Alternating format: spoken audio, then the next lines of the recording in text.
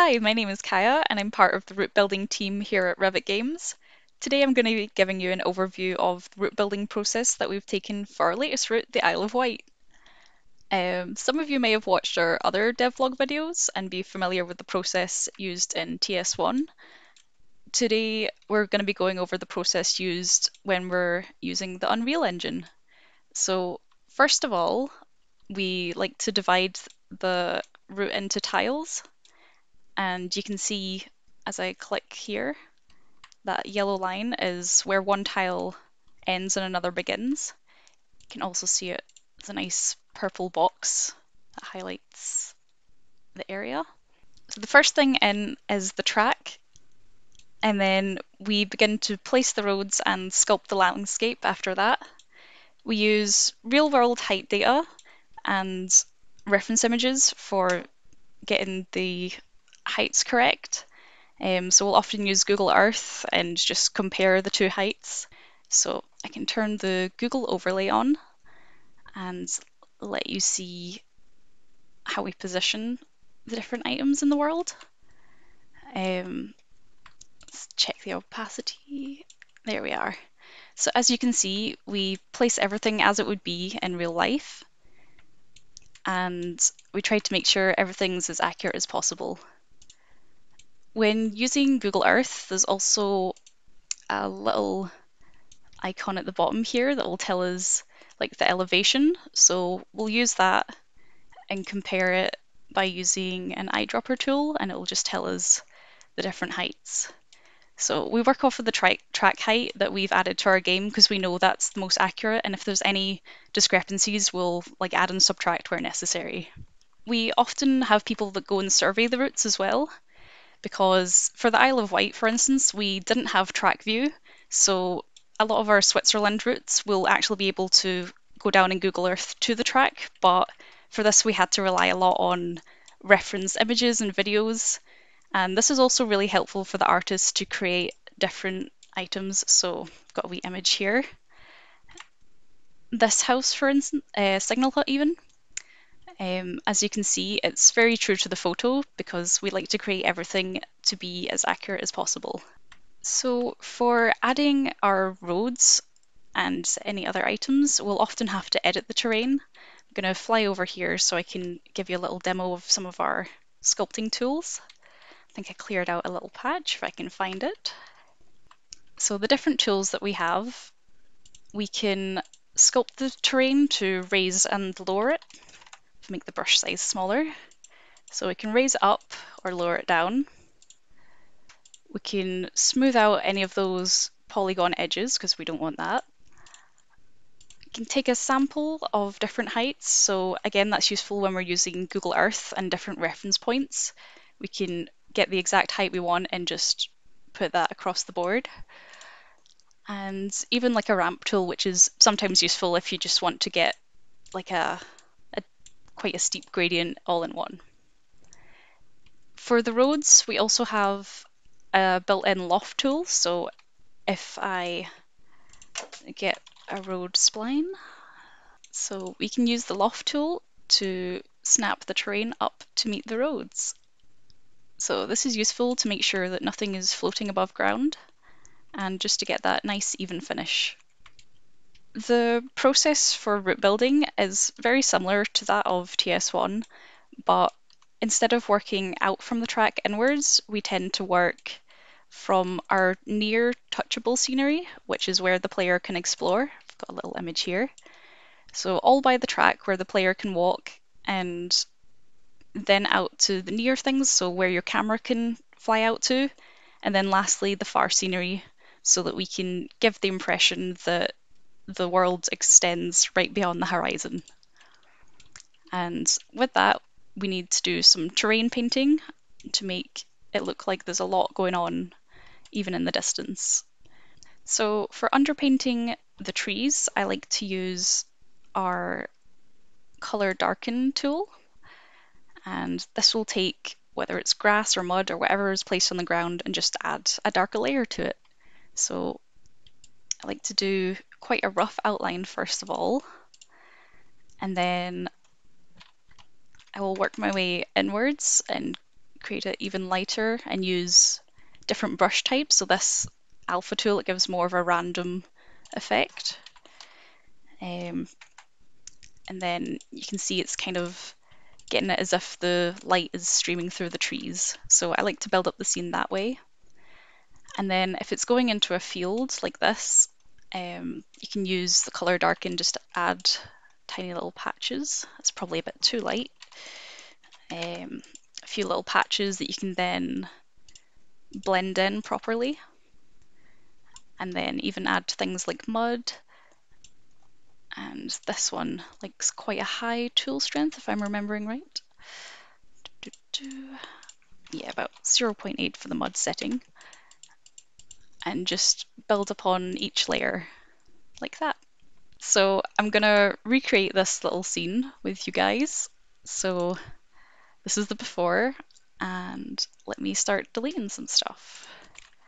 So now we have a little empty section and how we'd build that up is first of all start adding some terrain paint. So there was a bit of mud on the ground to begin with. Um, so we just add a little bit of that. We can make it like lighter and darker as we see fit. So make that brush size a bit smaller. Start adding a bit darker patches. And using that color darken tool again, you can make it a little wet looking as well, which is nice. And then we'll start to add some of the grass and the weeds in on top. So to start, just this kind of lower grass. Um, this is usually seen just at the side of the tracks. Um, the longer grass and the weeds we use for like deeper within forests or anywhere that's kind of overgrown. So we'll just add some of this around the outside to begin with. Then some of the longer grass on top. So coming out from these trees here, um, add some grass that's kind of merging with this industrial area. And some by the bushes over here. I'll add a couple of the weeds just now, but sometimes it's better to go in at the end when you've got like your different scenery items placed, but I think we can just add some on the outskirts here. And next we need some more of these assets, so I'm just gonna search for this and here we are. So if I place some of these vans around here that have just like came in off this road, I think they usually come in all right and like on the ground, but it's always best to check. Just make sure the wheels aren't sunk in or anything like that. So this one looks okay. Uh, let's get another one as well. I'm trying to remember what this scene looked like before. That's why you should always go to Google Earth. So I'll maybe do that just now actually. Yeah, it's just kind of industrial scene. So we try to keep as true to Google Earth as possible, but often with areas like this, like a construction site, um, we can just add in clutter items that make sense. So just different kind of piles of bricks and rubble that's lying around. Whereas a station building, like you're gonna get like the same thing every time you visit really, so that's more precise. But think this area we can just go ahead and add some different clutter items, but I can see is that wheels sunk in a little bit. So let's raise that Ah, see, that's the trouble. Then you end up with something that's flying. So let's see. I think the terrain itself needs moved. That's the problem. So if I go here and I'll use this eyedropper tool to sample the height of this piece of terrain where we thought the wheel was okay and just sort of flatten it out around here. I'll make it quite wide so that I can smooth down the sides as well without interfering. So smooth that back down. And that's fine. Good stuff. Next we're wanting some of these um, rubble clutter items. So we've got this kind of gravelly one and if my memory served me right there was a sandy one before so yep, uh, kind of sand pile. I'll just place these roughly for now A couple of these. Even add a little bit of some litter in as well, kind of around the skip. We can just rotate these and position these places that make sense. Maybe sink this one in because it's quite big. Put this kind of over here. Just make sure it's not flying off the ground. There we are. Um, and it's still looking quite empty, so again, it might be worth coming in with some more of this foliage. So if I go here, add a couple of those weeds in again. So let's see. Yeah, it already makes it look a bit more full. We can again come in with some different terrain paint, so maybe some even darker mud. If I turn this off and use it at its full setting, it gives more of a kind of wet and walked on effect, I feel. So just some different colours in there. And again, around this fence area, I had some more kind of weeds poking through, but we need to be careful that we don't get um, going too much onto the path or anything like this. So sometimes we'll put in different foliage by hand if it's like really close. But we prefer to use this tool just because it's less intensive and it's also quite handy just to spray down a big chunk. So add some along the fence here. For different areas, you would take different approaches. Um, an industrial area like this is kind of about placing clutter and getting that believable feel. Um, some other rural areas, it's like more just, I guess, the different foliage that you'd more worry about. And like I said before, for stations and anywhere that's really good for references on Google Earth, we tend to use that and stay pretty true to how it is. So I'll probably leave this scene here. Um, it still needs a little bit of fleshing out, but it does take quite a bit of time to get everything matching up and pretty sure there was like some darkened things up here, but it gives you a rough idea of the sort of process that we go through. The graphic that I showed earlier outlining the touchable near and far zones, um, the route builders kind of determine this and it's usually by the collision walls. So here um, I think the collision walls are on the stations themselves. Sometimes it's a little bit further out. Um, so this is considered the sort of touchable zone, would be this area in here, because this is where the player will walk around and explore. And we want to make sure like everything is absolutely pristine. I mean, we want that for all of the game, but this is the area that people will be right up and about.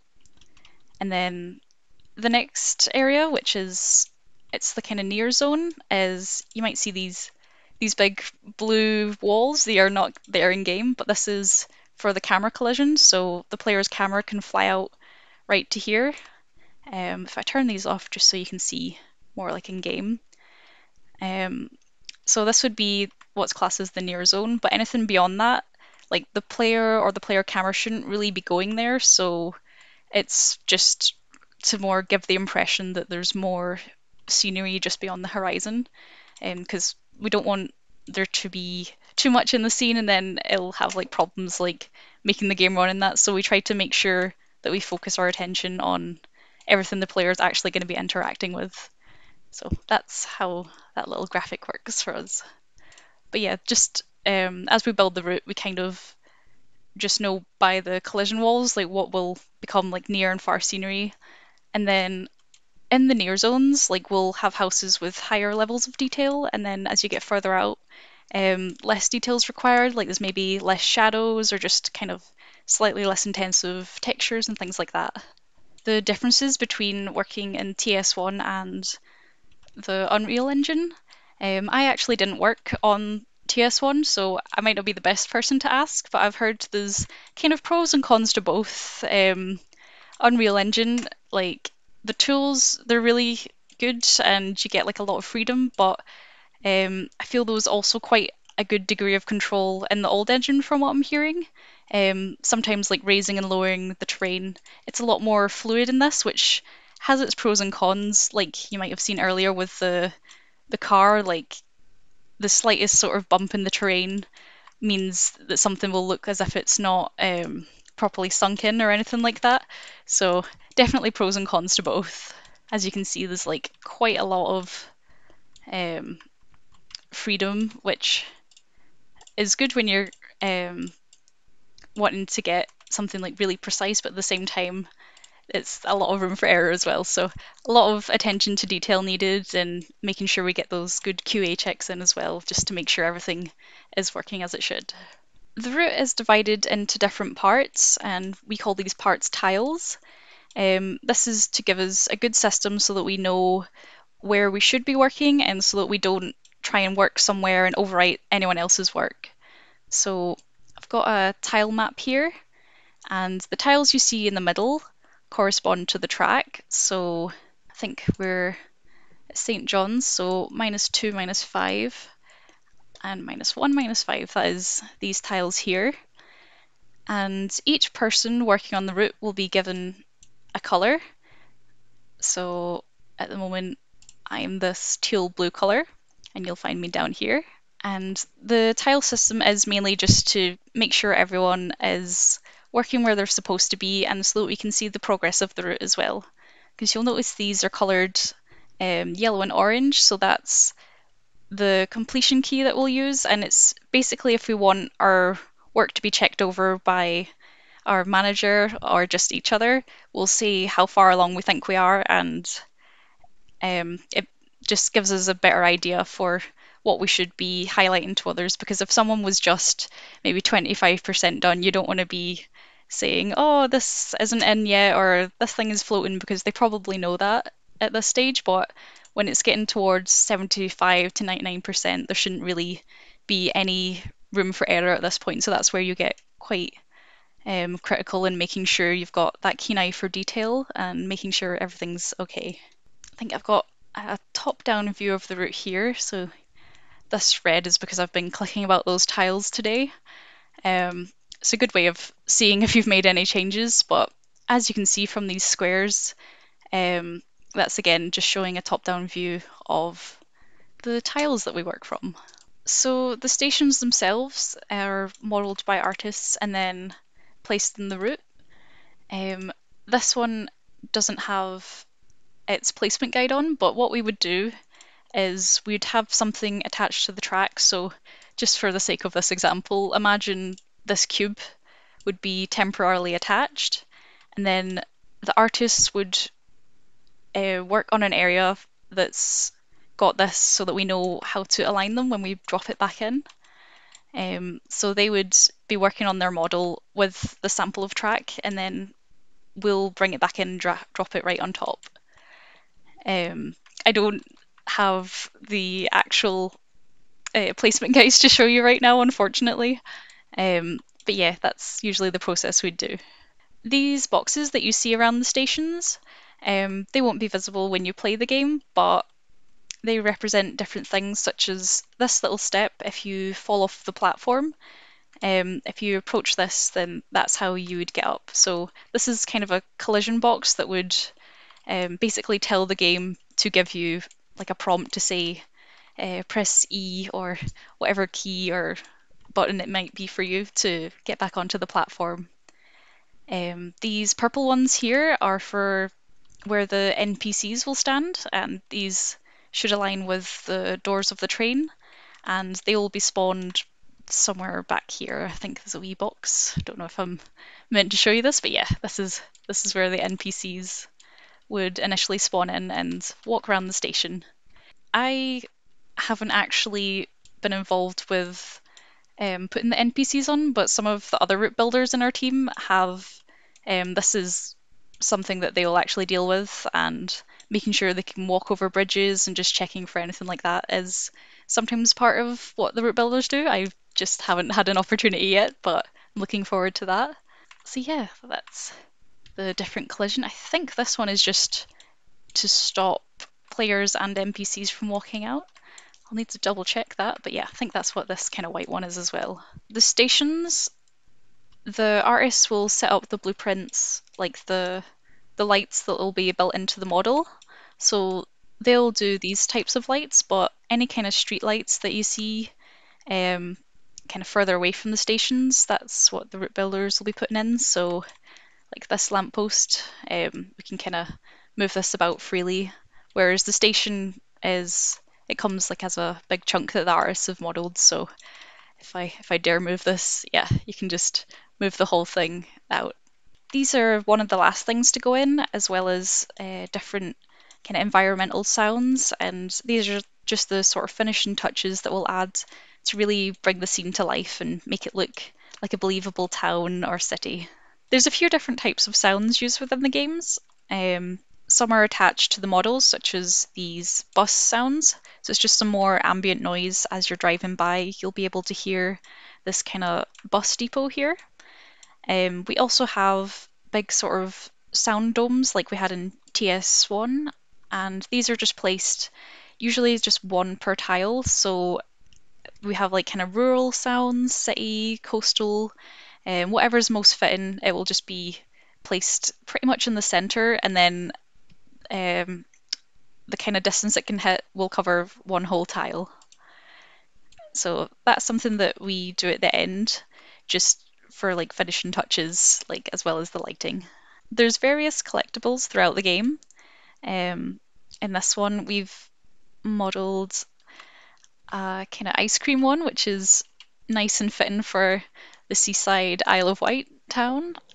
The collectibles have their own unique collectible ID, um, various other pieces of information that goes with it. So the route builders will place down a collectible item and we'll keep a record of this to pass on to those that are programming the collectability um, like functionality of it. Uh, but we'll choose like a good location um, wherever they're scattered around. And as you can see from this big collect icon, as we're working through the scene, we can kind of see if it'll actually show you. Um, we can see where we've placed our different collectibles. To the left of this collectible here, you might see this um, game icon. It won't be there in game, but this is the spawn location. So the light blue arrow is where the player will face as they enter the platform. And this is if you like jump to a location, this is where you should start.